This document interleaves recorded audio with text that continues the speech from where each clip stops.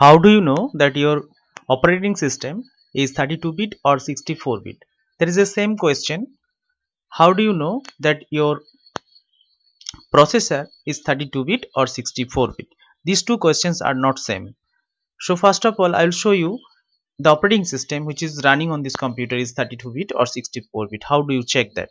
So first of all, go to the Windows button and then go to computer, right click it, then go to properties then go to this page and this is 32 bit operating system. So operating system is 32 bit but actually the processor is 32 bit or 64 bit.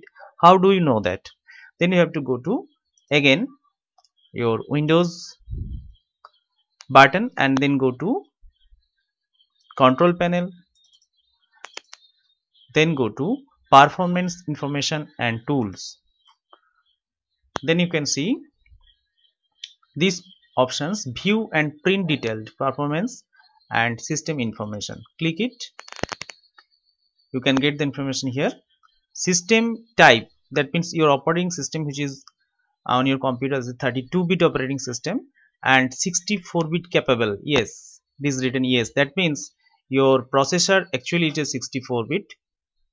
That means it can uh, both you can operate 32 bit or 64 bit.